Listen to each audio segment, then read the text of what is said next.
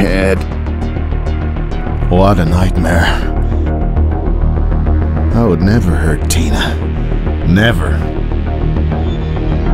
Requesting assistance to the Old Town Hospital on the first floor. What? No. What's going on?